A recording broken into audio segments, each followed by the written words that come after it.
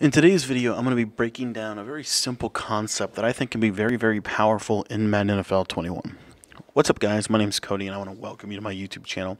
If you've never been a part of my YouTube channel before, my YouTube channel focuses on Madden 21 tips and tricks, different things that you can apply to your game that can help make you a better Madden player. And so if you're interested in becoming a better Madden player, I upload four videos a day here on YouTube that are designed to help. And so I want to encourage you right now to go ahead and click that subscribe button at the bottom right hand corner of the screen. All right, guys, we're going to jump in here. I want to talk specifically about a concept that is good every single year in Madden. It doesn't matter what the defense does, honestly.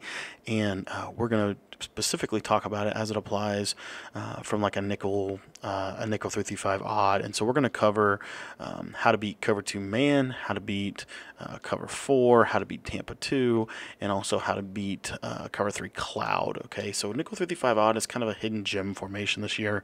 Um, and we're going to talk specifically about how do you beat cover two man or how you know, and, and then we're going to work through the coverages um, from the, that point. So the concept is honestly very simple, um, and I like to run it from five wide, like this gun empty base would be a great example of it.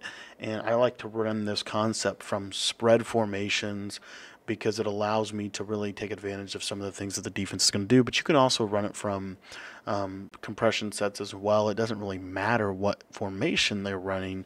What matters is how you run this. And the play is curl flats. Now, I feel like people don't really talk about this play uh, or talk about why it's effective, but we're going to talk about it a little bit today. And with this specific uh, route here to Marcedes Lewis, I think this might be one of the most underrated routes in the entire game. Um, now, it is easy to take away with your user, but it's not. It's a very unexpected key route, pivotal route. These little snag routes this year, if you lowball these, and of course I start out with a pick, if you lowball those right when they come back to the ball, they're unbumpable routes, meaning the defense can't press, okay? So they're not going to be able to get a press animation on uh, Marcedes Lewis. So he's going to be able to come right there, and you can oftentimes and we're two for two on the picks. Um, you can oftentimes just low ball that uh, against man to man. I'll show you here. Low ball, as long as we don't doink it off of our off of our linemen. Um, with gunslinger with pass elite, one thing is you know you can you can kind of run run yourself into a little bit of trouble. Now I would recommend with this specific route combination we're going to talk about having a gunslinger or a pass lead elite type of quarterback. Um, and for whatever reason, Aaron Rodgers is riding the struggle bus or completing this route. But this route is, is effective. Now, if you want to, you can turn him into a slant route, and you'll see there, I mean, it, it beats man to man easily. Most of the time, they're going to use or slant, but when you run a snag, they're not going to use it. They're actually going to let you complete this. And you can see, um, as long as we can get a good pass lead on this, this is actually a very, very good route. Um, you'll see here but but uh, we're gonna we're gonna jump over to the curl curl flat concept specifically right now. But basically, curl routes this year, um, in my opinion, are really good, especially from wide receivers that are on the line of scrimmage. So you see Davante Adams when he's on the line of scrimmage, it's actually going to make him much much more effective. He's going to get a lot more winning animations. But all you're going to do is you're going to low ball, and it's really really important that you hear me. You're going to pass lead this to the inside. As long as you pass lead it to the inside, most of the time this is going to be just fine. You're going to secure catch it. Now with your um, one of the things that you'll find they're really not going to be able to get underneath the curl routes this year. What they're going to be able to do is they're going to be able to get outside of them. So if I try to pass lead, uh, let me show you what's going to happen. If I try to pass lead Marquez Valdes-Scantling to the outside, you're going to see that that Jaire Alexander has a play on the ball. He can get to it. But if I pass lead him low into the inside, then only my receiver can catch this ball, as you can see right there. Now, what I'm, one thing I do want you to understand about curl routes, especially as they pertain to man-to-man coverage, is you want to be clicking onto the receiver, um, holding left trigger, and then coming back to the ball. Basically, you want to bring your receiver back to the ball. If you do that alone, you are going to really, really reap some benefits from this.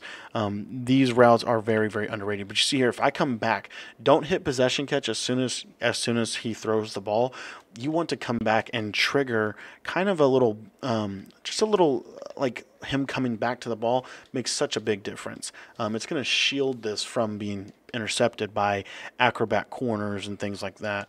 Um, just bring them back to the ball. And that's really going to help a lot, honestly. Um, you know, that's that's one little thing, one little tweak um, to me. But when you throw curl routes, just click on, and make sure you're bringing your receiver back to the ball. Um, as soon as you click on to the receiver, just hold down um, to bring him back, and you'll see here, he's see how he kind of basket catches it. That's kind of what we're looking for. So, uh, what about zone coverage? Well, zone coverage, depending on the zone drop of the zone, you're either going to hit the flat route or the curl route. Okay, so most of the time you're going to hit the flat route. As you can see here, um, you're, you're going to be able to hit these flat routes fairly consistently. And honestly, what you have to do, and, and this is really, really important to make this play go, um, you just have to understand when the flat routes are going to actually jump. You see right there, um, this is these are just standard curl to flat routes. And so sometimes what the defense needs is they need the curl route to kind of happen before they're going to actually um, before they're actually going to break on it. So essentially what that looks like is like from a cover three, for example, um, you might have to wait a second or so um, to complete this. You see here, if I snap throw it, you see it doesn't really, you see how they kind of, you know, take this away. So, but if I uh, wait just a little bit longer, those curl, those little flat routes, see right here, he's going to go to the curl and you can pass lead them upfield and possession catch them for a good six to seven to eight yards. Okay, what this also allows is if the defense tries to blitz you, this is a great concept to run against pressure because if they blitz you from zone, um, whichever side they blitz you from, that's where you're throwing the ball. I mean, you get it out quick and you're going. Very, very simple read. But what I like the most about these curl routes is that they kind of sit on the sideline uh, fairly well. You see how they kind of curl up? You can pass with, with, with the pass lead elite ability, you can pass lead these routes up to about you know, three to five yards. So see how he kind of goes up. If I just pass lead him upfield, he's going to get a RAC catch, and we're going to be able to go. So this is one little one little thing that can make these routes really really worth running. Now, um, if they're in, let's say they're in Tampa two, right? So they're playing cloud flats on the outside. Well, you'll see here I can get this ball out pretty quickly to Jones. It's going to make an instant decision whether or not he's going to go to the curl route or he's going to go to the flat route. Cover two is probably going to do the best job against these, but what you'll see here, pass lead up the when you pass lead these flat routes upfield, that's the real win to me because you're going to be able to get a consistent six to seven yards right there um, and you're going to be able to get a nice little RAC catch, get up for about four to five to six yards even on a bad day. Now, what that's going to force the defense to do is it's going to force the defense to have to adjust. They're going to have to either come down and do maybe hard flats. So you might get something like this look right here, where now he's going to go to the flat route, and you'll you'll know it by the by the turn of the corner. Does the corner go down or up? And so, like on cover, um, for example, on cover four, what you'll see here is watch that corner is going to turn right there, and that's where we throw it. As soon as the corner makes that shift, makes that tell where he's going to go, that's when you're going to make that pass lead. So if you can look at this here, he's going to turn up, and then I can hit the flat route, and you see there are good nine yards um, that I'm able to get. And so, you know, you just want to master these reads. It's a, it's a simple two-man read, and when you run it on both sides of the field – it can actually be very very effective because they can't really do um, they can't really do a whole lot of, about it. Now I do want to talk specifically about curl routes for just a second, and this is one reason why I think curl flats is so powerful. With the with the zone drops and specifically the way that um, these curl flat zones play, what you're going to find is there is actually a window to pass lead these curl flats um, or these curl routes inside of the uh, purple zone. Now, the way to do this is to bring Davante Adams kind of into the uh, on, an, on an inside breaking curl route like the one from Curl Wheel uh, in the Arizona Cardinals offensive ebook. But another way that you can do it is let's just say they're running a standard curl curl route. You see that they're going to drop back, and you see that the defender is going to step in front of him. Well, he's only going to step in front of him once he kind of brings himself to full awareness of what's happening. And so if you work on your timing with this route right here, when he goes to the inside, um, or when when the when the corner kind of shades to the outside because they're the flats are going to basically pull them to the outside, you're going to have a short little window right there that you're going to be able to complete that ball if you low pass and pass lead that inside, oftentimes that will be a nice passing lane that your quarterback can actually complete these curl routes against some of the better defenses. Now, I don't recommend it. I recommend just making the read between curl to flat, but it is an option um, that I have noticed does work, especially on like deep inverted um, curl routes. But you'll see um, see how he kind of sits and, and, and waits like that. Now, one one thing they're going to do uh, against you maybe is run some cover three cloud. So cover three cloud would be like they're running one coverage on one side and another coverage on the other side. That's where I I come back and say I really like running curl flats as just a basic concept on both sides of the field because it really forces their defense to play a, an, a coverage with integrity. They can't roll coverage to one side or the other because you're going to attack them in a balanced way on both sides of their formation.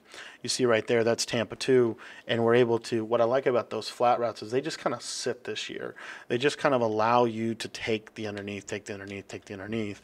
And most of the time, guys, most of the time they're going to give you the underneath. The defense is going to be okay with you taking a good five to seven yards, but down in the red zone or in key short yardage um, positions, they are going to try to go with the hard flat to take those quick flats away, and you're going to be having wide open passing lanes to be able to, to throw this ball. Now, one other thing I did want to cover real quick before I take off is zone drops. So zone drops with this um, with this specific coverage we're going to set our uh, flats to 5 yards and our curl flats to 25 yards or 20 yards. This is very common for people. It's a very common thing for them to set their drops uh, in this way because it's going to help them in man-to-man coverage. Well, what's going to happen, I want to show you two things that's going to happen when they do this. Um, it's going to change everything for your offense, specifically as it applies to the curl, defending the core curl flat concept. And one of my favorite plays is this Y post, as you see, because it's got that inverted, uh, inverted curl route, and I'll show you why that's significant in just a second. But we're going to go over curl flats again, the basic core foundational concept of having a curl route and a flat route. That is what we're looking at right here. And what you'll see is when they when they when they do their zone drops at 20 yards, they are really sacrificing um, a lot of underneath coverage. There's really not, um, it's really, really not a good way to defend this. Um, there's just not going to be a great opportunity for them to make plays. What you'll see here is if I were to run the meta coverage, which is to take both safeties, put them in purple zones. These curls and these hitches um, and these flat routes, see how the flat route's going to pull that purple zone and there's going to be a nice little basket, nice little point to be able to hit Davante Adams. They're going to have to lower those curl flat purple zones, which is then going to allow you to throw um, to throw crossing routes and deep post routes. This is how you know you use different routes to be able to open up different windows of the field. Now, what if they were to play flat zones, right?